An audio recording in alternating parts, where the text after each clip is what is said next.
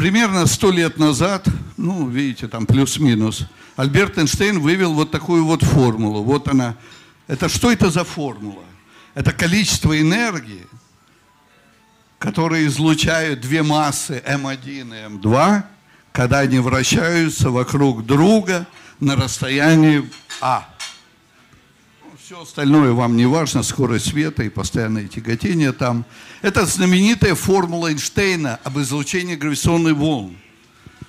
Кстати, я хочу сказать, это интересная история, что когда он послал свою статью в журнал, а Эйнштейн в 16 году был уже великим физиком, понимаете?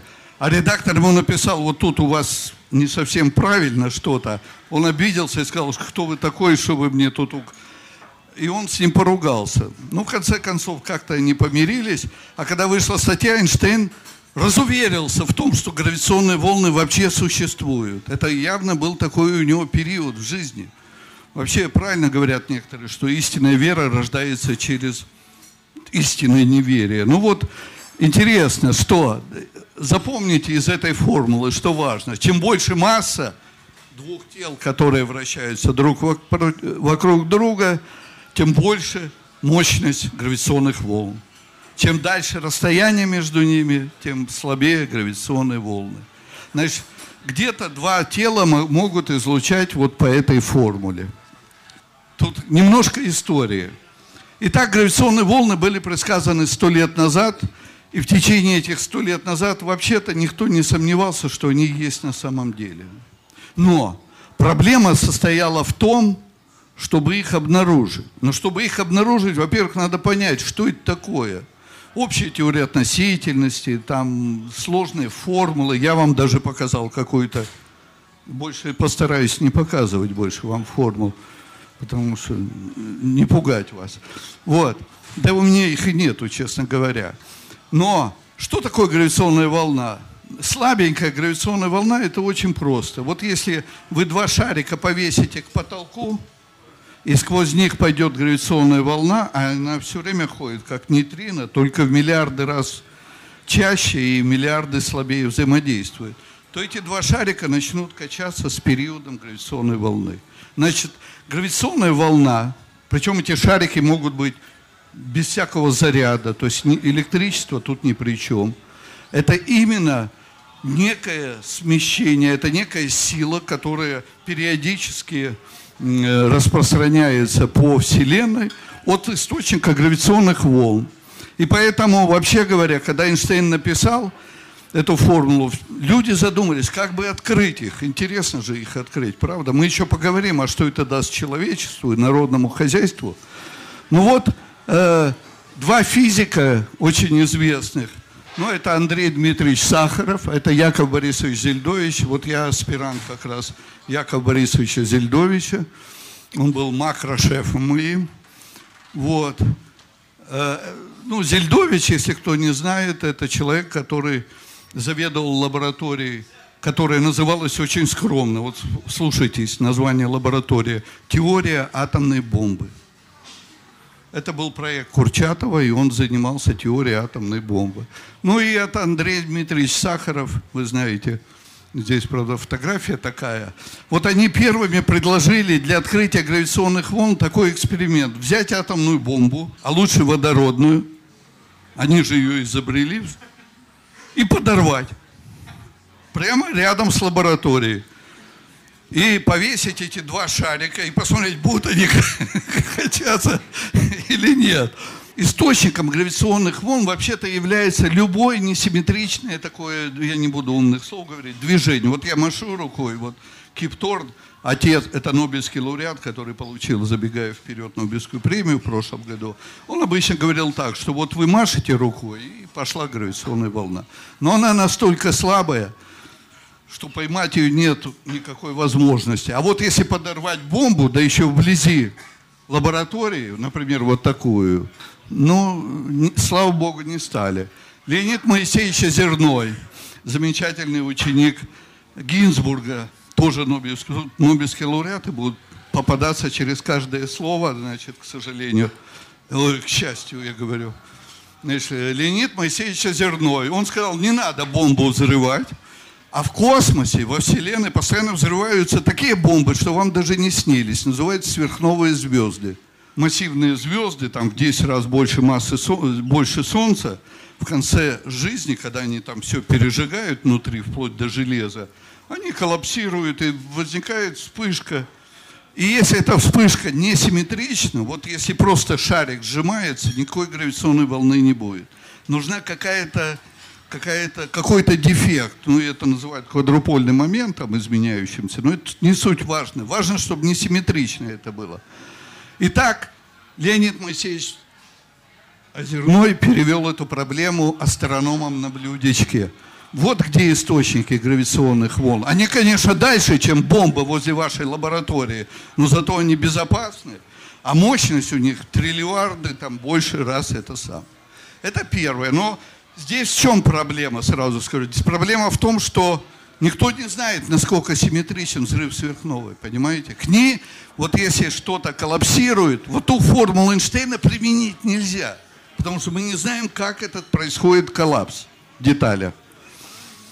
Ну, мы вернемся к формуле Эйнштейна. Леонид Грищук, человек, с которым я, ну, не дружил, но был в хороших очень взаимоотношениях, мы соавторы были. Он придумал в 70-е годы, вот я вам скажу сейчас, часто называют там такие фамилии, сякие, а у нас в России довольно много великих людей. Ну вот я говорю об этом молодом человеке, значит, Данилов, известный физик. А вот Леонид Петрович впервые сообразил, что наша Вселенная, она родилась от Большого Взрыва, в самом начале родила огромное количество гравитационных волн, которые по мере расширения Вселенной, конечно же, ослабевались, но они заполняют всю Вселенную, в том числе и этот бар. И гравитационные волны, поскольку они проходят через все препятствия совершенно э, безмятежно, как бы это сказать, без, без всяких поглощений, они могут быть э, зарегистрированы. Но, к сожалению, эти волны очень слабы. Но многие из вас, молодые люди, через лет примерно 10 и 15 э, будут присутствовать при вручении, ну, я не имею в виду в Швеции, а вообще присутствовать при вручении Нобелевской премии за открытие вот этих вот удивительных гравитационных волн, их называют реликтовыми или космологическими гравитационные волны. Я сразу хочу вам, так сказать, бросить самую главную, что ли, в чем пафос вообще гравитационных волн. Ну, была формула Эйнштейна, ну, открыли физики, вручили Нобелевскую премию. Но пафос состоит в том, что если мы научимся работать с граволнами, а в особенности вот с этими, а, а эти граволны приходят с самого момента образования нашей Вселенной. Более того, они могут приходить даже с того момента, когда еще Вселенной не было, когда Господь Бог только размышлял, как бы ее сделать. И, возможно, через эти гравитационные волны, это новый канал информации, он стал в прошлом году, позапрошлом году, ну буквально вот в эти годы, пока вы тут пиво пьете, он стал новым каналом уже информации. Так в будущем вы доживете до времени, когда мы будем знать, чем занимался там Господь Бог, когда рождалась наша Вселенная. Но, как видите, 20-30 лет мне уже ждать не хотелось бы, и многим другим людям, которые занимаются граволнами. И э, вот был такой астроном Мироновский. В 60-е годы он вспомнил формулу Эйнштейна и сказал, да в нашей галактике полно двойных звезд, давайте ловите двойных звезд. Ну вот, эта идея победила в конце концов. Но не все сразу. Вебер, американский физик, в 60-е годы соорудил первый прибор для приема гравитационных волн. Он напоминал бочку пива. Видите, да? Ну тут не пинта, он огромная бочка совершенно.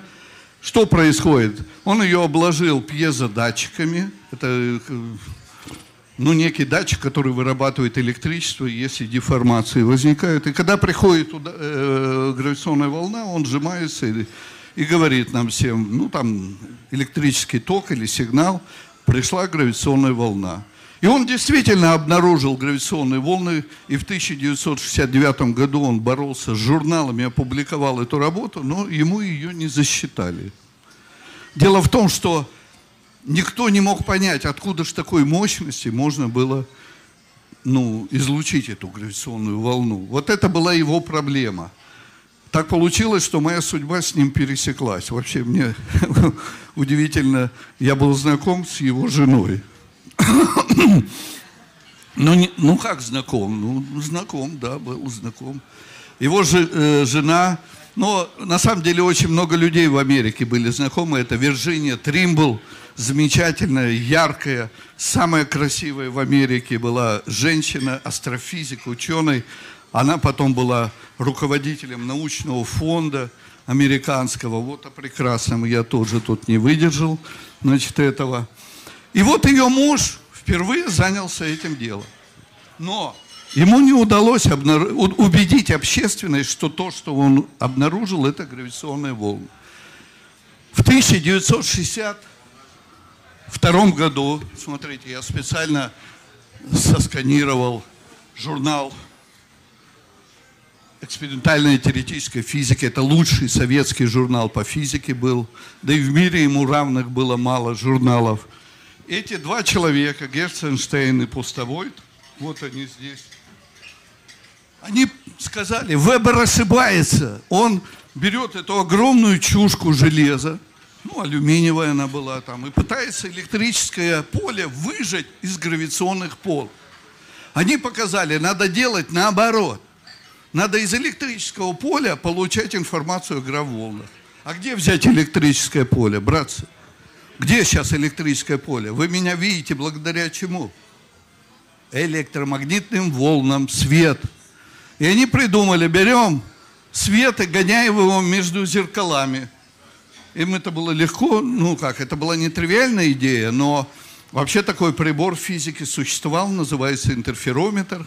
Гоняешь свет – и если граволна приходит, она начинает эти зеркала чуть-чуть колебать, и у вас образуется э, детектирование, получается детектирование гравитационной волны. Знаешь, мы движемся по истории, я страшно затягиваю, но не могу, когда на этих людей смотрю, я их просто, мне так они нравятся. Многих из них, к сожалению, уже в жизни нету. Ну вот, Владимир Брагинский совершенно гениальный был экспериментатор. Я просто, когда слушал его доклады на семинаре Зельдовича, э, э, восхищенно. То есть, вот вы спрашивали у Данилова, понимает он квантовую механику или просто к ней привык. Но, э, например, Гейзенберг, когда ему студент говорил, на вопрос отвечал, понимаете ли вы он квантовую механику, он задал такой вопрос студенту. Если студент говорил, понимаю, он его выгонял, я сам не понимаю. Так вот, Брагинский действительно ее очень четко понимал и здорово очень работал вот с этой идеей. Значит, в чем идея? Смотрите, наши физики перевернули проблему. Надо взять электромагнитную волну и посмотреть, как граволна будет действовать. Оказывается, она никак не действует на релятивистскую волну. Она зеркала колышет, и у вас начинает интерференция, знаете, что такое? Ну, волны. Это ж волны. Картина начинает меняться и шевелиться, и вы видите. Вот это и был метод. И в прошлом году, собственно, я опять забегаю вперед, потому что я боюсь, вы меня выгоните со сцены. Я самое главное не скажу. Э, Нобелевская премия как раз была вручена за открытие гравитационных волн. Да, ну вот смотрите, Э, двойная звезда, формула Эйнштейна, это вы запомнили, да? Но там входила буква А в знаменателе, помните? Расстояние между звездами. А чему равно расстояние между двумя шариками минимальное? Кто еще трезвый тут? Сумма радиусов. Значит, если чем меньше радиус звезд, тем больше амплитуда волны. Значит, нам нужно найти источник граволн, у самых-самых компактных звезд, какие есть во Вселенной. А это нейтронные звезды, которые впервые теоретически предсказал тоже советский физик Ландау. И черные дыры. Вы поняли, должен быть очень компактная двойная система. Но она компактная будет только если звезды позволят ей. Значит, надо взять самые маленькие звезды, какие есть на небе. Еще раз, это нейтронные звезды, у них диаметр 10 километров. Представляете? Это значит, если нейтронную звезду поместить краюшек на, по адресу по адресу Пятницкая, 29, то центр ее будет где-то там в кабинете у Путина. Но это нормальный размер, маленький, вполне понятный размер. Но для астрономии это вообще-то крупинка. Ну и черная дыра, всем известно, что это при данной массе самый маленький объект. Такой маленький, что из него там уже ничего не выползает снаружи. Тогда люди задумались, знаешь, в космосе могут идти вот такие реакции. Нейтронные звезды, кстати, когда Ландау открыл нейтронные звезды, он имел в виду, что он открыл огромные ядра с массой Солнца, но атомные ядра. В том смысле, что нейтроны, и протоны, и электроны там объединились в некую барион, ну это называется там барионная смесь некая. И это огромное атомное ядро. И вот фактически мы имеем дело аналог с атомной физикой или даже с физикой элементарных частиц, когда у вас сталкиваются ядра. Но просто эти ядра сталкиваются во Вселенной. И вот эти реакции, столкновение нейтронных звезд с нейтронными это самые эффективные источники. Почему? Потому что работает вот та формула Эйнштейна. Это две массы, вращающиеся друг вокруг друга. Ну и, соответственно, да, кстати, вот эта энергия, которая излучается максимально, обратите внимание, она равна c в пятой ноже. Эту энергию когда-то открыл Альберт Эйнштейн. И единственную формулу, которую я привожу в моей лекции, это моя с Альбертом Эйнштейном формула. Ну, нет, Эйнштейновская была, вот это моя. Смотрите, Эйнштейн, когда написал, если вы пойдете на светимость, посмотрите, там есть такая штука c в пятой ноже. c – это скорость света, g – сила гравитации. Смотрите, тут появилась картиночка такая. И вот тут на доске написано, смотрите, c в пятой g. Это такая компактная, красивая формула, я ее люблю. Ее вывел Эйнштейн впервые, когда выводил гравитационные волны. Но оказывается, если предположить, что вся теория гравитации не верна, а верна квантовая механика, квантовая гравитация, то надо Е планковское разделить на Т планковское. Но постоянная планка выпадает. Я эту мысль Грищуку лет 20 вдалбливал, он никак не мог понять, в чем же я тут нового говорю. Выпадает постоянная планка.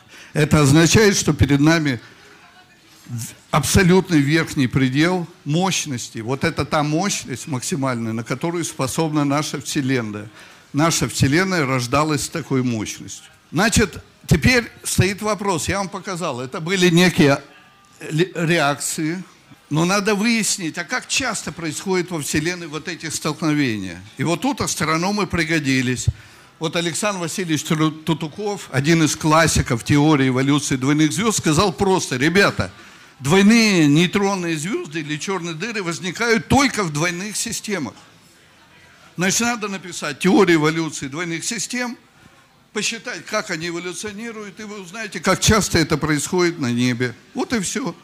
Ну, он написал такую простенькую схемку, видите, да? Я так посмотрел, я был на этом докладе в 1979 году и понял, что я это, это тут интегралы писать бесполезно, потому что здесь столько вариантов, и это только самый простой эволюционный трек. Поэтому мы придумали в Государственном астрономическом институте специальную машину, значит, вот на самом деле, вот тут вот есть одна важная вещь, еще возвращаясь. Александр Васильевич, кстати, очень остроумный человек, и я организаторам рекомендую его пригласить на лекцию, потому что он читает великолепными афоризмами, книгу афоризмов выпустил. И он, собственно, ввел эту науку, сценарий, эволюционный сценарий. Ведь смотрите, что он нарисовал. Смотрите, одна восьмая, вторая, третья, и какие-то возможности, да? А придет другой человек, нарисует немного другие, начнет вот тут вот веточки добавлять. И всю эту науку он назвал эволюционным сценарием. И так ученые стали режиссерами, сценаристами, драматургами и так далее. И стали эти лавры отбирать. Но как проанализировать? Вот видите, сначала две нормальных звезды, а в конце две релятивистских звезды, черные дыры или нейтроны. Как дойти отсюда сюда? С помощью формул совершенно невозможно, поэтому мы сделали модель галактики в начале, в которую мы положили все эти формулы. Это в 1983 году. Мы предложили новый метод в астрофизике, исследования теоретического того, а как же живут двойные звезды во Вселенной. Значит, мы туда некие начальные условия, Методом, кстати, Монте-Карло, такой есть метод, это случайной выборки, вы знаете, Монте-Карло и горный дом. Вот вы в компьютер закладываете начальное распределение двойных звезд, берете их у астрономов, законы эволюции двойных звезд, это нормальные звезды, это релятивистские звезды, и получаете галактику, искусственную галактику. Ну, вот так я изобразил это в 80-е годы, примерно нашу работу над машиной сценариев. И в частности мы научились впервые смотреть разные стадии эволюции двойных звезд. В это время, а надо сказать, что еще до этого времени, Кип Торн, один из будущих нобелевских лауреатов, постоянно приезжал к Зельдовичу и постоянно Э, приходил к нам на семинары и микросеминары, и, и перед ним выступала молодежь и рассказывала, что мы сделали. Каждый год он приезжал.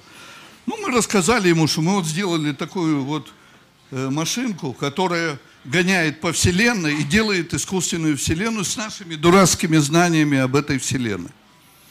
Он говорит, здорово, а не можете сказать, как часто нейтронные звезды сталкиваются? Он уже в мозгу держал 80 там, четвертом году вот этот гравитационно-волновой эксперимент прош, позапрошлого года. Ну, мы посчитали, и получилась вот такая кривая, это ужасный график, ребята. Это вот, это расстояние чувствительности детектора. То есть детектор чувствительный, он видит до 10 мегапарсек. 10 мегапарсек – это 30 миллионов световых лет. До 60 миллионов световых лет – до 90 миллионов световых лет. А это мы предсказали, мы знали, что хочет сделать Кипторн, тем более он эту идею нашел в Советском Союзе, и мы знали про это. Мы смоделировали, а сколько будет на детекторе событий за один год.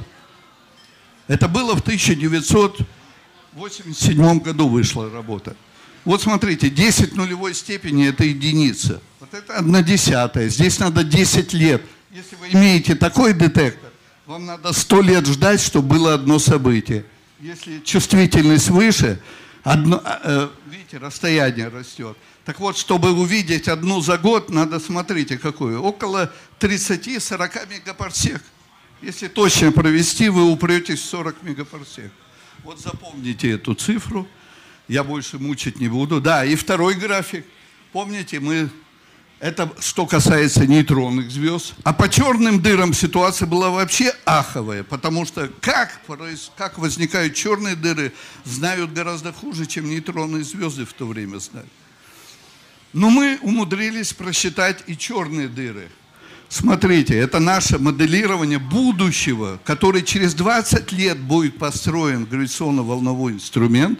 И вот эта частота событий в год – это черные дыры, а это нейтронные звезды. Что мы видим? Какие чаще будут на детекторе? Вот это черные дыры. Это частота в год. То есть это тысяча штук в год, ребят. Это 10, это, это одна, это одна десятая. Ясно, что первыми должны быть открыты черные дыры. Запомните это положение – потому что мы тоже были не дураками, хотя теория была плохая, но мы хитро поступили. Мы эти все неизвестные параметры в компьютере обозначили буквами альфа, бета, гамма и добивались, чтобы наша искусственная галактика была похожа на... чтобы небо в ней было похоже на наше небо, которое мы видим. То есть мы могли ошибаться в каких-то процессах. Но если вы правильно описываете небо, то с большой вероятностью вы правильно описываете и реакцию столкновения черных дыр. Знаешь, предсказание у нас было очень простое. Первыми должны быть обнаружены черные дыры, а в то время на Западе выходили работы, что черные дыры вообще не сливаются, например. Но почему это важно? в тот момент было. Потому что гравитационно-волновая антенна должна быть настроена как радиоприемник на правильную частоту. Так вот, черные дыры сливаются с частотой 100 Гц примерно, и я вам покажу, и это было обнаружено, и вы услышите, потому что эти герцы можно перевести в, в звуки музыки. Э, и вот видно, да, вот эта голова динозавра, это самые вероятные параметры, которые мы, когда искусственная галактика, ну, практически не отличается от реальной галактики. Вы видите, черные дыры побеждают – Хотя, почему это происходит? О, очень просто.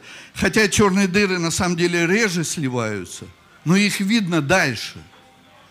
У них масса-то больше. Черные дыры там имеют 10-50 раз больше массу, чем нейтронные звезды, все порядка массы Солнца. И расстояние оказывается в 10 раз больше. А если расстояние в 10 раз больше, во сколько раз больше объем, который видит наш гравитационно-волновой телескоп? Как объем зависит от расстояния? Ну, в тысячу раз. То есть даже если они в тысячу раз слабее сливаются, они все равно могут победить нейтронный звезд.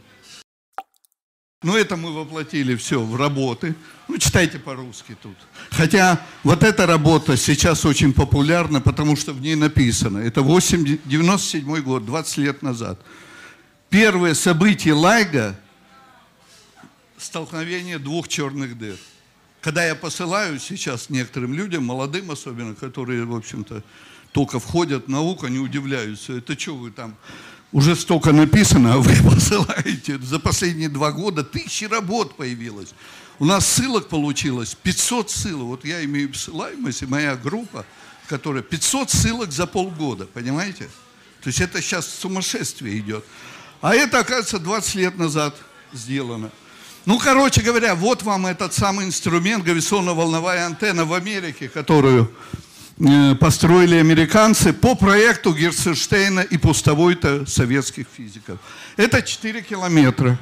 И это 4 километра.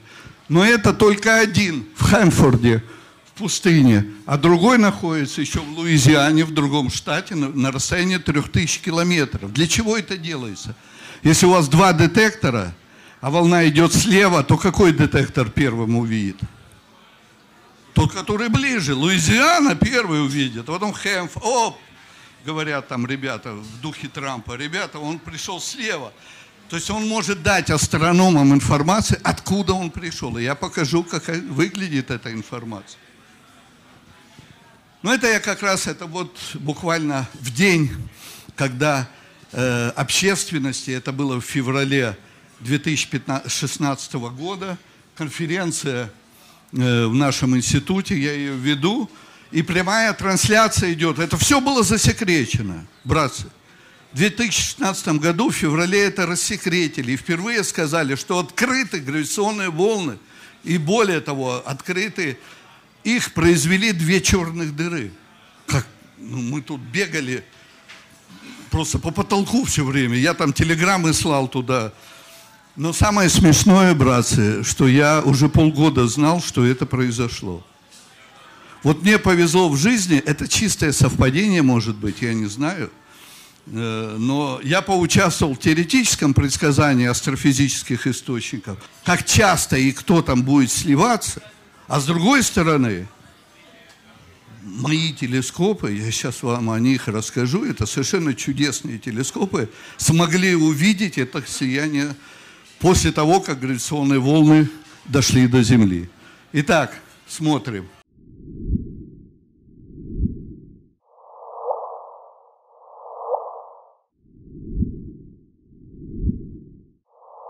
Что происходит? Вот, собственно, вот эта форма импульса, вот это вот, вот она, видите? А частота его все время уменьшается. То есть вначале он, как я, басовитый такой, а потом сиплый становится такой, тонкий, на фальцет. Почему? Почему? Кто знает?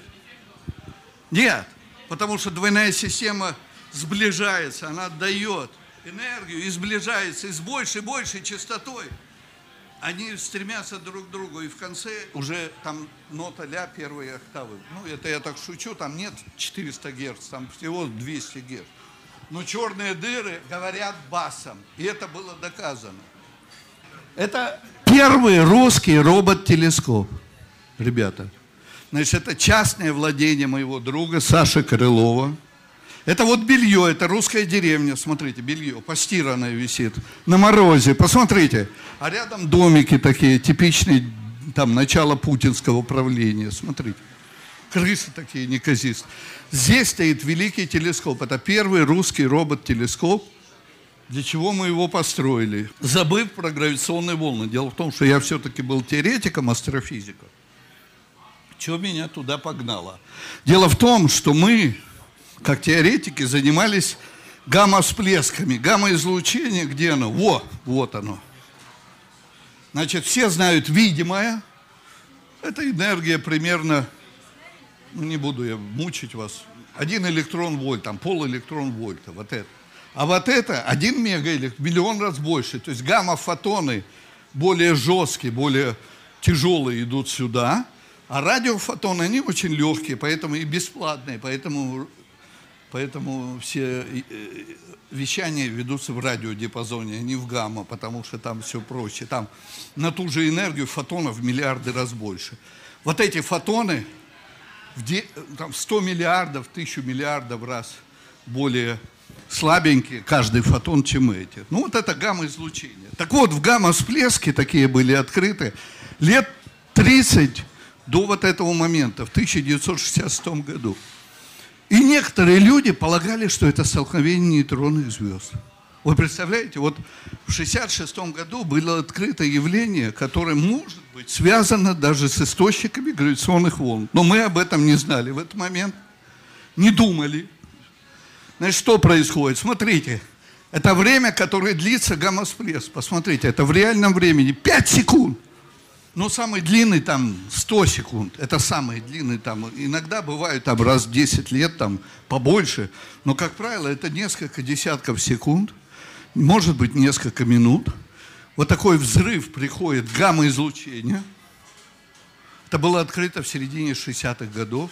И это связано с ядерными испытаниями, не буду я эту историю рассказывать. Для нас важно следующее. Что-то на небе происходит очень быстро, и как это увидеть в оптическим глазом, ну, телескопом увидеть, обычным астрономическим телескопом. Как это сделать?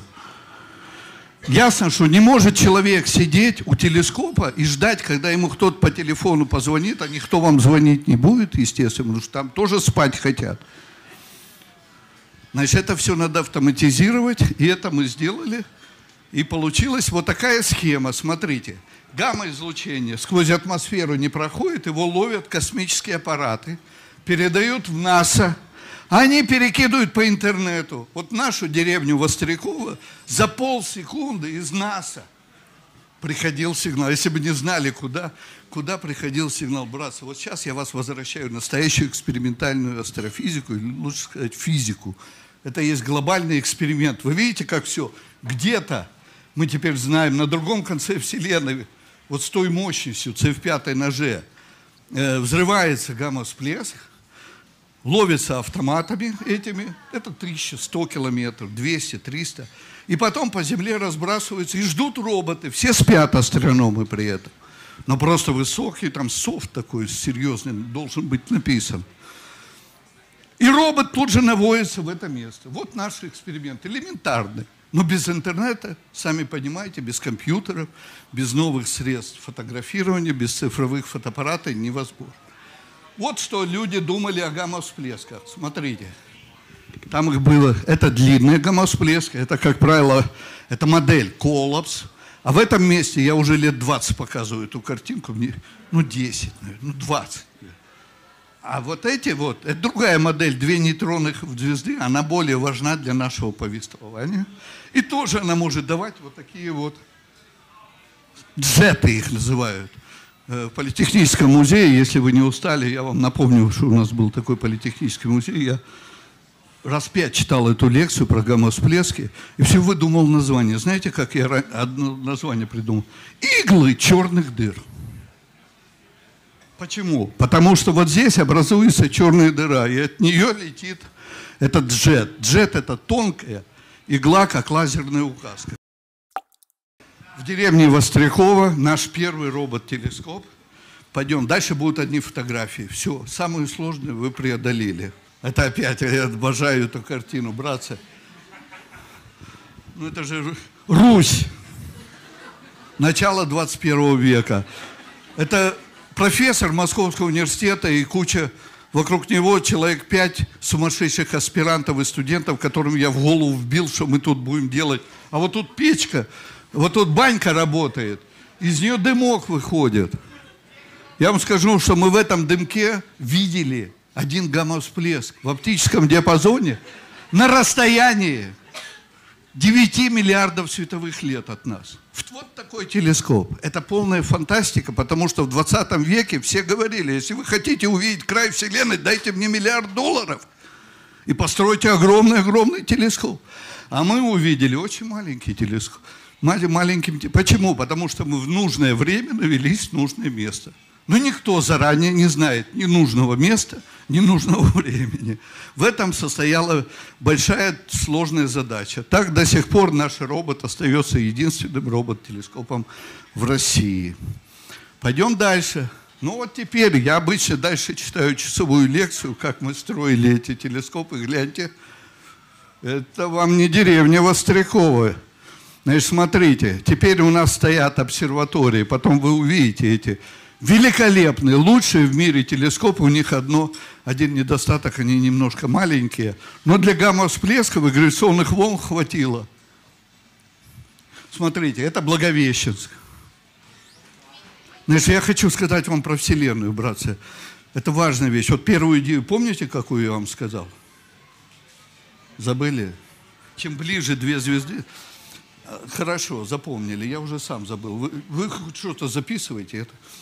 Смотрите, вторая идея. Оказалось, что вот наш маленький дохлый телескоп еще был не самый маленький, который вообще видел эти гамма-всплески. Первый телескоп имел диаметр 10 сантиметров. Братцы, это не телескоп. Более того, потом выяснилось, что простым глазом видны гамма-всплески. Значит, я думаю, что Господь Бог создал нашу Вселенную именно такого размера, чтобы даже такой астроном, как я, выйдя в поле, увидел край ее. Значит, наша Вселенная похожа на деревню. Я бы сказал, на деревню Вострякова. С этим бельем развешено. Мы находимся, наша цивилизация, на стадии развешивания белья. Значит, смотрите, вот это вот, Благовещенск. Значит, в каждый флаг это полторы тонны очень сложного оборудования – это Благовещенск, это Байкал, это Урал, это первый московский телескоп, он сейчас не работает, но флаг мы поставили. Это Кавказ, это Крым, это Канарские острова. Я тут всегда рассказываю историю, сейчас скажу, что когда мы, когда мы ездили на Байкал, а было это в ноябре, ветер был 20 метров в секунду и температура минус 20. Мы ставили телескоп. Я говорил сотрудникам, поехали с нами – поможете? Ну, говорит, я в следующий раз. А когда мы поехали на Канары, вот тут все говорят, Владимир Михайлович, давайте мы вам поможем с телескопом. Я говорю, нет, тут мы сами справимся. Южная Африка и Аргентина. Вот от этой точки до этой 22 тысячи километров. Оказывается, ваш покорный слуга, сумасшедший, абсолютно больной человек, Оказалось, что это единственная в мире поисковая сеть сейчас. У американцев была до нас, это, грубо говоря, наши телескопы цветные, у них были черно-белые. Когда мы стали их побивать, наблюдение гамма-всплесков, они закрылись. Американцы не любят быть вторыми. Они тут же закрываются и уходят. Мы сейчас первые, ребята. Мы лидируем наблюдение гамма-всплесков сейчас в мире. Ну вот, собственно, что мы сделали – ну, вот компания Меркатор, это компания, которая, кстати, хорошие научно-популярные ролики делает в интернете. Она как бы, мы ее не просили, она сделала для нас такой рекламный ролик. Что такое сеть мастер? Вот посмотрите сами. Я бы такой не нарисовал. О, скоро. Это, знаете, фильм 2014 года. Там уже стоит телескоп, я вам покажу его. Ну, вот тут видите, некие характеристики – Телескоп работает без людей. Вот мы единственные астрономы, ну, в России точно, которые спят ночью. И жены довольны. Вот. Это тоже победа некоторая. Ну вот видите, наша сеть телескопов в комп- через компьютеры обрабатывает изображения. Сейчас мы научили телескопы сами писать телеграммы научные. То есть мы не просто спим, мы еще утром за чашкой кофе иногда читаем – наши открытия и приписываем их себе, братцы. У меня 1700 публикаций. Я самый публикуемый в мире человек. Ну, не в мире, в России. Это специальный сайт создал для таких сумасшедших, как и мы. там серьезные проекты. Ферми, например, это 2 миллиарда, полтора миллиарда долларов космический телескоп. Свифт, рентген, интеграл. И мастер тоже. Мы открыли около полторы тысячи новых объектов. Ну вот смотрите, я не буду дальше утомлять, этот ролик можете найти и поискать, набрать мастер в интернете. Ну, даже опасные астероиды тут нашли. 8 штук. Вот сколько объектов мы открыли за последние несколько лет. Посмотри, это реальные взрывы, все разные. Одни секунды длятся, другие дни, часы, минуты. Мы открываем, кстати, вот это южное небо. А вот пошли, видите, это не видят русские астрономы остальные. Мы его заполнили телескопом Южной Африки и Аргентине. Все заполнено. Это реальные э, полторы тысячи объектов или сколько, я не помню, 1400, сейчас уже больше. Все крупнейшие миллиардные телескопы мира наблюдали э, наши объекты. Все крупнейшие, и космические в том числе. Ну вот это вот русский телескоп такой. 40 сантиметров, сопелка я его называю. Итак, помните, я сказал, вернемся на 20 лет назад. Мы опять 2015 год, 14 сентября. Что происходит? За два года до этого я получаю письмо от Лайга, ну, потому что они, нас уже все заметили, и говорят, вы не хотите помочь нам найти оптический двойник гравитационный? Надо же, вы поймите, вот я сейчас вам объясню одну вещь, она очень важна, ее физики плохо понимают, особенно те физики, с которыми мы эту работу. Я не вас имею в виду, вы как раз понимаете, но таких мало и скоро совсем не будет. Значит, смотрите, вот два американских гравитационно-волновых телескопа. Они получают сигнал, и дают по поверхности Земли за полсекунды всем другим телескопам. А принимать можем только мы автоматически сейчас. Но есть один дохлый французский инструмент, американцы ушли из этого с бизнеса. Мы сейчас, Россия владеет этим бизнесом. И вот наши телескопы ждут. И года за два до открытия гравитационных волн они нас пригласили. Они не знали, что я был теоретиком что я наблюдал, что я предсказывал что-то это. И всю секретную информацию они мне выложили. 14 сентября, 16 сентября мы уже узнали все про этот всплеск. Вы знали, что это две черных дыры. Я тут же забабахал туда телеграмму, что это мы сказали 20 лет назад. Ну, в общем, я им там вздохнуть не дал. Смотрите. Значит, в чем идея? Как с гамма-всплесками, братцы. Приходят координаты – и наши телескопы наводятся в это место. А мы 20 лет уже до этого наблюдали все это. Ну, не 20, там 15 лет. То есть у нас гигантский опыт, мы сейчас одни из самых опытных в мире. Но радость была недолговечна. Когда мы получили первый гравитационно-волновой импульс, это был такой банан на пол неба. Я вам скажу, вот это все небо, видите? А вот это возможное место, откуда пришел первый гравитационно-волновой всплеск, за который дали Нобелевскую премию.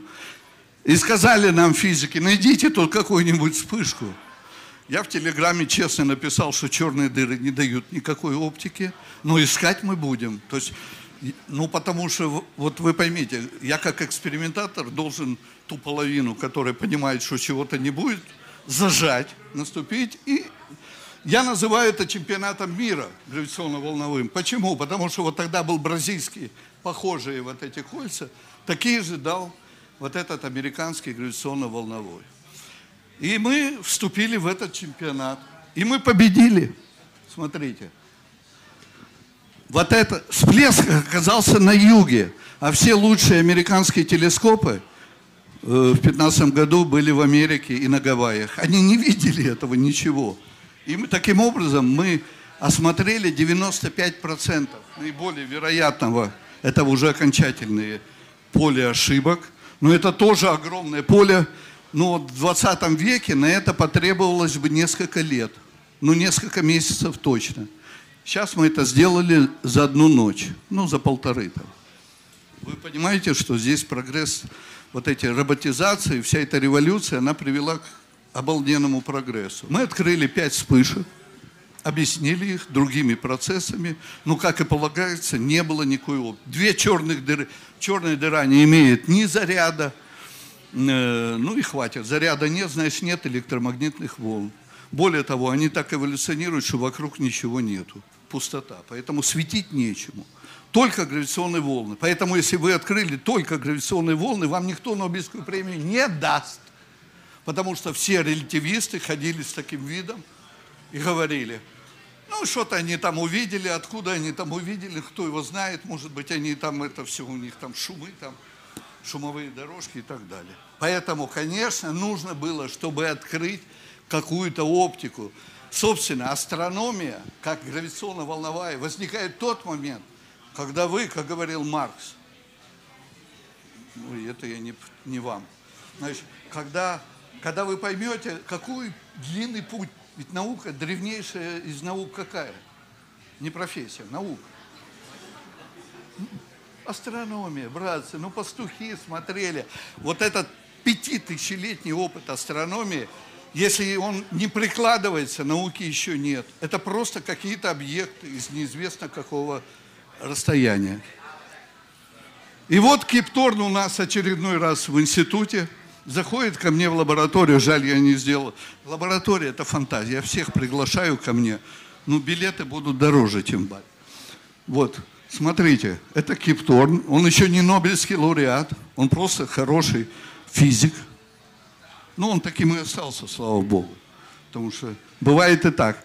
Он накалякал здесь на доске вот за Наташей там, накалякал пожелание. Ребята, откройте нам оптику, оптику откройте. Это идет 16 год. 15 они открыли, еще какие-то черные дыры. Ну, мы открыли им оптику.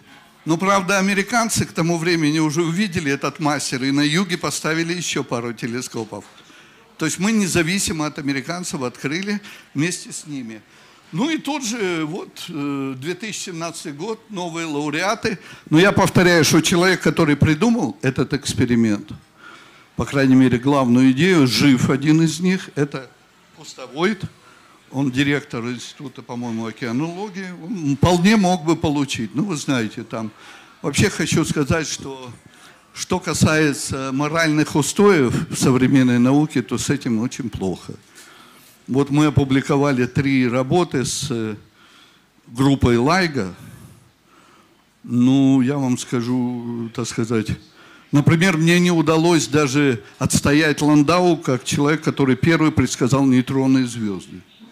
Хотя я был один из десяти, там полторы тысячи соавторов, я был из, один из десяти принципиальных соавторов. У меня не поддержали академики наши, они часто часто отмалчиваются. Что же было, ребята? 17 августа прошлого года у нас была конференция, мы плыли на пароходе, банкет по Москва-реке. Я уже был, честно говоря, сильно, сильно далек от науки. Бабахает этот гравитационно-волновой всплеск. У нас день пока. И через 12 часов, а, через 2 секунды его видят э, гамма-телескоп, европейский интеграл, но у него точность определения нулевая, потому что он видит боком его. То есть мы не знаем координат. А вот через 10 часов несколько телескопов, и в том числе наш мастер из Аргентины, открывают оптическую вспышку. Братцы, это самое великое открытие 21 века после там, ну не знаю, что там было, одно из самых великих открытий. Для астрономии это фантастическое открытие открытое явление, которого никто раньше не видел. И в тот же день, когда была гравитационно-волновая. Потом открыли там рентген, опт, э, радио, рентген и так далее. Но это все было позже. Но что было вот в этот момент? Почему я так на оптику напираю? Не потому, что у меня оптический телескоп. Вот я вам приведу пример про гамма-всплески. Они были открыты в 65 году, в 66 где-то. А локализовали, то есть узнали, откуда они приходят, только в 97-м. 30 лет люди не знали, откуда приходит гомосплес. Тысячи неправильных работ теоретически. Теоретикам было хорошо, наблюдений мало, данных нету. Все теории там, от комет до Хокинга. Хокинг считал, что это взрываются его те самые черные дыры космологические, которые маленькие, испаряются эффектом Хокинга. Я сам написал первую неправильную работу, я всегда говорю, в 1983 году, что это нейтронные звезды, но не те, которые сливаются, а те, которые там что-то такое захватывают.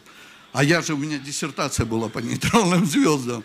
То есть каждый, чем занимается, как говорили в советское время, работаешь в аптеке, вата дома, правильно?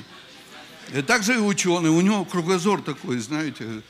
Ну, я был такой молодой, сейчас я не скажу, что стал умнее. Ну, хорошо. 30 лет в рентгеновской астрономии люди ждали, когда из первого сигнала, из гамма неизвестного излучения – мы локализовали объект. А здесь мы ждали, смотрите, 10 часов для этого. Это во сколько раз быстрее? То есть сколько, работ, сколько мы не дали свою жизнь зря прожить, можно сказать. Сколько кандидатов наук было защищено по этим неправильным гамма-всплескам. В Советском Союзе вообще 99% считали неправильную модель тогда. Ну, я правильную считал. Смотрите, 10 часов. Что произошло, братцы? Напрягитесь. К тому времени, к 17 августа 2017, 17, 20 лет назад, я предсказал, что должны быть слияния нейтронных звезд со своими аспирантами и студентами. Смотрите, к этому моменту уже были известны пять черных дыр. Черные дыры очень массивные, и они сливаются очень быстро. Смотрите, вот черные дыры. Это нейтронная звезда, а черные дыры уже сливаются. Вот это самые маленькие, они помедленнее, смотрите. А эти очень быстро, эти уже слились. А это полторы минуты светило. Смотрите, это все длится в реальном времени гамма-всплеск. Вот он, пишется на лайга. Правда, это они увидели эту дорожку потом, постфактум, когда им Ферми сказал, что они видели гамма-всплеск. А если гамма-всплеск через две секунды и гравитационно-волновой, это значит что? Это не черные дыры, братцы. Знаете, как в этом терминаторе он показывал там в этом третий... А это было 20 лет назад. Значит, смотрите. Значит, это две нейтронных звезды. А от них-то может быть кое-что еще интересное. Например, оптика.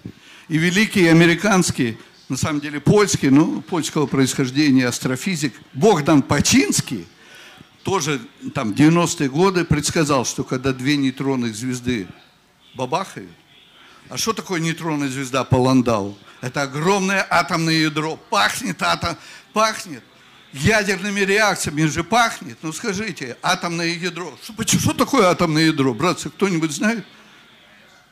Ну, вы-то знаете. Я, я... Смотрите, это много-много нуклонов, это нейтроны и протоны, которые стягиваются ядерными силами. А протоны заряжены, они отталкиваются. Почему нет тяжелых элементов с номером 500?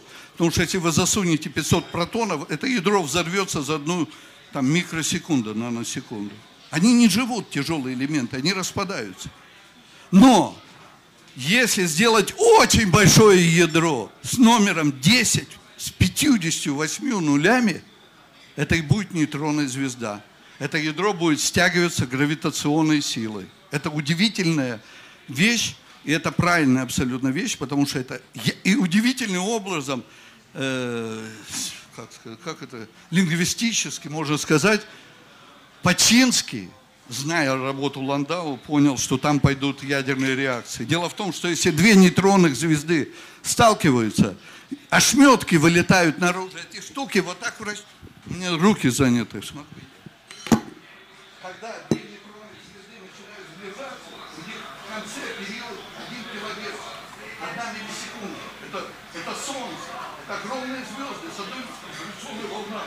Ну, ну, братцы, просто людей все представить, вообще с ума Но обрывки вещества имеют большой момент вращения и вылетают наружу. И за несколько долей секунды эти обрывки нейтронов начинают объединяться во все сверхтяжелые ядра. Теперь я все это залеплю, это было в мире Холли. Вот есть золото у кого-нибудь? Кто-нибудь золотые сережки, колечко, кто занят? Мне не надо, нет, ну ставьте ему. Смотрите, это золото образуется как раз именно при столкновении нейтронных звезд. Об этом мы узнали 17 августа прошлого года. На 99%. в основном здесь. Эти нейтроны образуют всю вторую половину э, химической таблицы Менделеева. Железо – это максимум, на что способны звезды произвести, потому что железо, как вы знаете, не горит. Ну, пробовали железо запалить? Оно не горит. И оно термоядерным образом не горит, оно требует энергии. Итак, пошли галопом. Смотрите, полторы минуты. Вот гравитационно-волновые поля ошибок от, от черных дыр огромные. От нейтронных звезд уже поменьше бананчики. Почему? Потому что в этот момент, в 17 году, заработал итальянский интерферометр на другой стороне Земли, в городе Пиза. А в городе Пиза кто родился? Галилео Галилей. И поэтому в этом городе, собственно, они построили свой гравитационный, европейский гравитационно-волновой телескоп. И три телескопа уже локализовали лучше. Но это тоже 100 квадратных градусов. И это несколько месяцев работы в прошлом веке. Да, но расстояние видно сразу. Почему? По амплитуде видно. Вот на этом расстоянии были найдены столкновения нейтронных звезд. Оно было найдено на расстоянии, но в каком месте никто не знал. Идем дальше быстренько. Вот схема следующего эксперимента. Сеть мастер, раз, два и три, пиза. Пиза возникает. Вот этот магический треугольник дает нам координаты гравитационных волн. И наши телескопы на Канарах, русские телескопы не играют. Южный оказался опять квадрат. Но американцы подсуетились, здесь уже несколько американских телескопов поставили. Вот. И что же получается? Смотрите, этот телескоп начинает, еще error этот квадрат ошибок большой, тут поменьше, ничего не можем найти. А вот этот телескоп в Аргентине нашел. Ну вот, собственно говоря, вот этот бананчик. Это рентгеновский гамма-телескоп дает вот такую плюшку – ну и так понятно, тут вообще-то достаточно этого бананчика. Вот это интеграл дает, вот это вот. Ну, мало что дает, но очень важно, очень важно. Но там ни одного русского прибора, правда, нет. Вот, и мы начинаем штопать этот всплеск. Мы пытаемся локализовать, не только мы, американцы тоже, правда, три часа ночи, мы все спим. И вот она картинка, смотрите. Вот этот телескоп, там какой-то студент сидел на телескопе, ему из Америки позвонили. Ребята, сказали, вот тебе список галактик, ну просмотри. А что сделали люди? Просто взяли, расстояние было известно, и в этом бананчике они дали список всех галактик. И на третьей галактике он наталкивается на вот этот объект. Тут же он снимает телефон и звонит. В 40 метров от него еще три телескопа. Или даже раз, два, три. Это все американские телескопы. Ну, независимо открыл только один мастер. Ну, вы видите, что тут как бы ничего не видите. Я-то глазом на изображении вижу, а наш робот тем более это видит. Я вам сейчас покажу, что делает робот, когда он вычитает опорные изображения и наблюдаемое. Итак, время 10.86. Это почти 11 часов. А это чуть больше 11 часов, треть. 15, сколько там, 20 минут. Это все происходит почти синхронно. И информации мы никакой не имели. То есть мы независимо открыли вот это явление. Оно стало самым необычным, которое видели астрономы на небе. Но если вы открываете явление самое необычное в день, когда открыты гравитационные волны, то что? То это значит, это вы увидели гравитационные волны, произошла локализация и возникла новая наука – содвиньте бокалы, гравитационно-волновая астрономия. Ну вот, смотрите, это наш телескоп Южной Африке, а это самый большой в Южном полушарии 10-метровый телескоп тут. Это лучшая обсерватория мира. Они пригласили мастер туда. Ну, мы их взяли в коллаборацию, как говорится, без всяких денег. Вот. Это на Канарах наш телескоп. Я сейчас просто показываю, где я побывал за последние годы. Я ненавижу путешествовать. Это вулкан Тейда, если кто не знает. А это Аргентина, это вот этот удивительный телескоп, это, это за год до этого открытия. Это 1000, 2000, какой год, не написано, черт побери. А, 15 мая. Ну, короче, это за год до открытия. Значит, это, ав, это май предыдущего 16 -го года. Смотрите, когда мы приехали сюда, здесь было пусто. А это через две недели. Вот так мы строим. Говорят, Крымский мост там построили. Мы строим за две недели. В Южной Африке стоит 20 телескопов роботов, они приглашают русские телескопы и дуревают, потому что за, две, за неделю мы его строим, а на второй неделе он уже шлет научные телеграммы и открывает. Вот это важная вещь. Вот он, этот бананчик, а это наш кадры. Наш телескоп обладает очень большим полем зрения. Обычный, допустим, Хабловский телескоп, ему понадобилось несколько лет – чтобы обозреть вот такой эррорбокс. А наш телескоп это делает за пару часов. И вот на некотором кадре он открывает объект. Вот смотрите, происходит что. Это, гравиц... это э, что такое сейчас, 17.23, да? А, это начало наших наблюдений.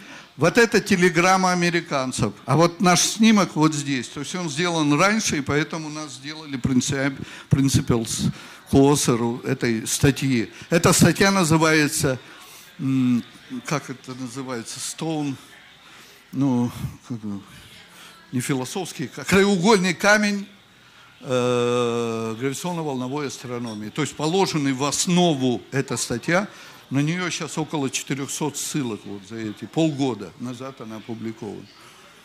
Ну, отлично.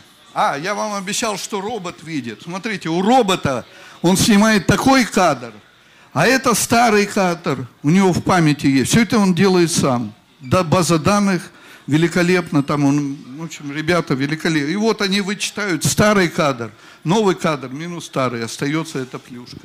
Это и есть килоновая, это есть то место, где золотишко-то куется во Вселенной, но, к сожалению, не только золотишко, а всякая дрянь из таблицы Менделеева, и поэтому я даже иногда называю это космическим Чернобылем.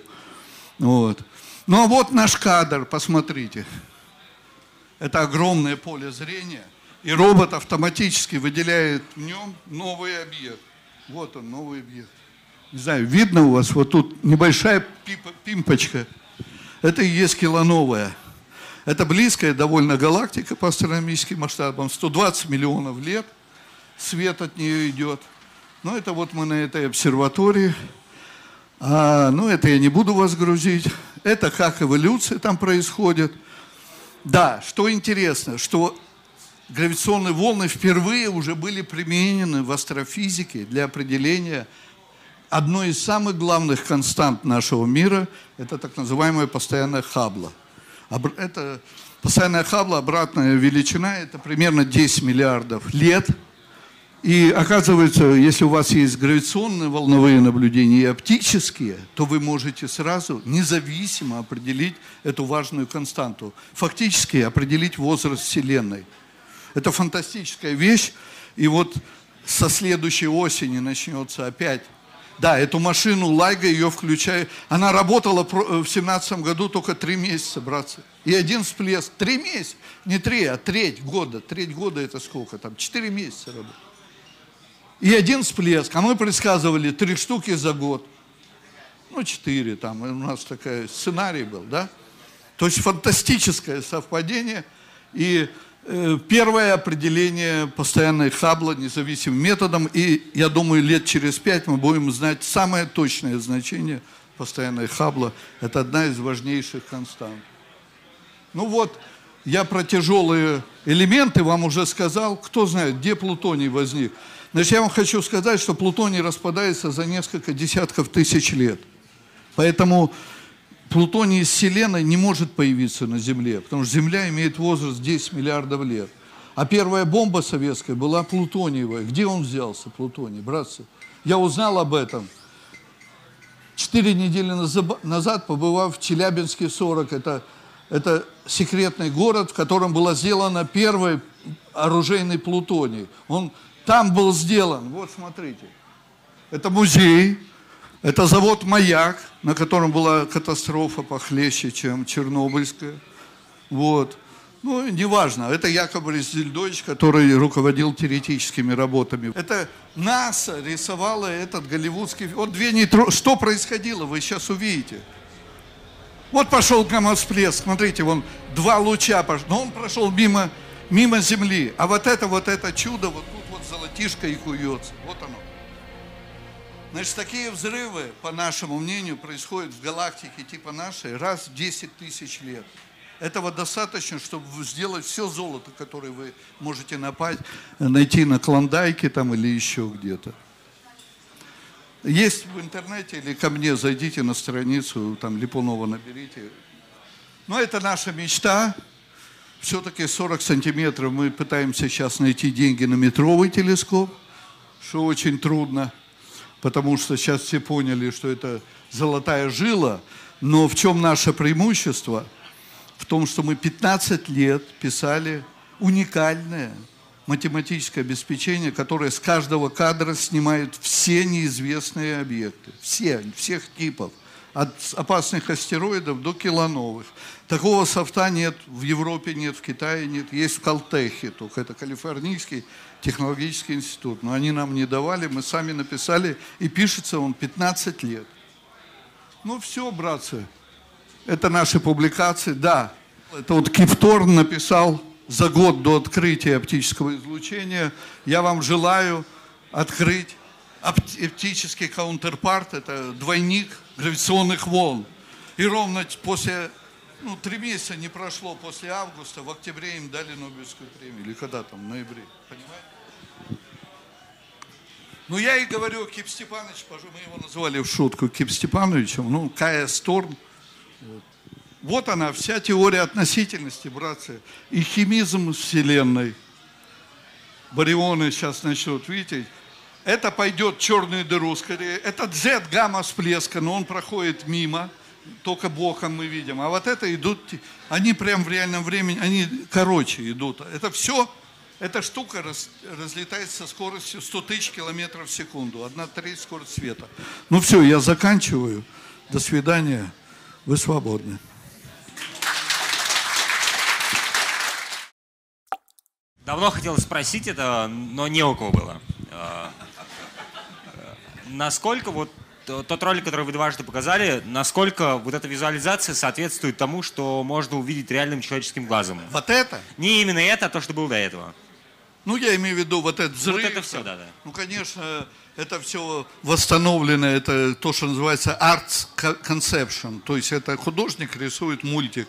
Но физика, конечно, она берется из спектров, из... Э, самое главное, вот я вам скажу, что вообще-то спектры тут не нужны были. Вот представьте себе, что через 10 часов мы увидели вспышку. И мы увидели ее в видимых лучах. Не в гамма, не в радио, не в рентгене. А в видимых лучах, значит, температура порядка Солнца. 10 тысяч градусов. Если вы знаете температуру и время, по закону Стефана Бойсмана находится расстояние – расстояние делите на время, получаете одна треть скорости света. Таких сверхновых не бывает. Это мы посчитали утром, ну там все посчитали, короче, и поняли, что это килоновое. Мы бросили искать другие кандидаты и стали его искать. Но потом уже навелись огромные, там 10-метровые, долбили спектры, увидели миллион линий всей таблицы Менделеева там. То есть это действительно место, где рождается где рождается не только золото и платина, а все, что дальше железа находится. Ну, это, я хочу, вопроса нету, но я вам завидую, вот самым молодым, они наверняка доживут. Я помните, ради чего все это делалось? Ради того, чтобы обнаружить космологические гравитационные волны. Сейчас мы научимся работать с ними, раз, раздраконим источники, все это, это там постоянно Хаббла найдем. А вот чтобы увидеть, что было со Вселенной, как она рождалась, всем понятно, это самый проклятый вопрос, который волнует человечество. Правильно? Увидеть эти руки, которые там лепят, лепят ее из пустоты какой-то или из невежества былого. Э, плоскость, в которой сближаются нейтронные звезды, и вылет э, джетов. Э, как они соотносятся? Почему именно вот изображено, что перпендикулярно. Да. Ну, потому что момент вращения, вы поймите, что такое джет? Джет это ось симметрии фактически, понимаете? Mm-hmm. Это, да. Э, значит, э, подробной теории его нету. Если вам кто-то скажет, что кто-то умеет. Но опыт изучения, вот чем хороша астрономия, мы наблюдаем тысячи разных объектов. В частности, радиопульсары. Радиопульсаров сейчас известно 2000. И у них этот джет виден просто-напросто. И везде он вращается вокруг некой оси. Почему? Ну, потому что у вас плоскость, э, момент вращения не совпадает с магнитной осью. Но когда у вас две системы сливаются, то магнитное поле генерится именно вокруг главной А, оси ясно. слияния. Ясно. Это механизм Динамо там. Да, э, я в том есть. смысле, что... Не Спартак. Да, Спартак что- там а, не играет. Динамо. Что, что когда пульсар вращается, то он то его э, радиолуч... э, Болтается да, туда-сюда. болта- И да. поэтому он пульсар. Нет, здесь ничего не А, пульсирует. ясно, спасибо. Просто само поле является результатом коллапса. Оно уже симметризуется вокруг оси вращения. Спасибо. Если не изменяет мне память, э, гравитационные волны и темная материя, это, грубо говоря, гравитационные волны единственный способ, как мы можем ее исследовать, если не изменяет мне память. Как мы можем использовать вот это открытие, и можем ли мы в дальнейшем как-то исследовать, влиять, изучать ее, локализовывать и так далее, и, может быть, даже воздействовать? Не, К сожалению, темную, в смысле, понятно, что гравитационное взаимодействие для темной материи является основным, потому что все остальные либо слабые, либо, либо вообще она что-то третье. что мы не- Но гравитационное взаимодействие, несомненно, приводит к излучению, и вы правы, принципиально, но там такие маленькие скорости, есть такое понятие релятивистского эффекта. Вот гравитационные волны – это эффект по порядку малости. Кто-нибудь помнит, кто-нибудь помнит, что такое порядок малости? Нет? Это если скорость массы разделить на скорость света и возвести в пятую степень. А темная материя двигается со скоростью 300 километров в секунду. Перестаньте смеяться там, а? Ух, паразиты какие. Да. На этой планете Земля живут. Самый интересный вопрос мы с вами не рассмотрели. Это существование разума во Вселенной. Ну ладно, в следующий раз. Так что принципиально да, но по сути мы до этого не доживем. Но они косвенно важны для чего? Вот когда мы поточнее померим постоянную Хаббла и докажем, что плотность Вселенной, там еще, ну сейчас уже доказано, что она близка там, к определенной величине, темная материя, ее вклад таков, что делает нашу Вселенную очень удивительно вот существует некая критическая плотность, черт его знает. Короче, Вселенная разлетается со второй космической скоростью. Никто не понимает почему. Теория инфляции говорит, вроде понимаем. На самом деле потом сказали, нет, не понимаем. Там теория струн, да, там все добывают, там, Лагранжан берут, добавляют, убавляют. Кстати, про физику. Можно я наеду на одного физика хотя бы? Смотрите, вот как Эйнштейн. Вот я считаю, что ты пришел в физику, написал новое уравнение, ну, ну имей за душой хоть, хоть какую-то э, сверхидею, но пусть она будет неправильна. Вот у Эйнштейна была теория Маха, принцип Маха, он не признается современной физикой, но он позволил ему открыть общую теорию относительности. Ну, совершенно ну, неправильно, сейчас исключен. Что происходит сейчас? Ну, я, может, что не, может, вы прокомментируете, но и последняя идея была высказана, по-моему, Калуцей и Кляйном про n-мерное пространство. То есть человек показал, что если у вас, если наш мир пятимерен, то в нем появляются электромагнитные волны. То есть лишнее измерение, будучи свернутым, дает новое взаимодействие. И сейчас довели до 11 эти измерения. Вы знаете в курсе. Я не буду вам голову морочить. Короче говоря, Вселенная разлетается со второй космической скоростью. Это важная загадка.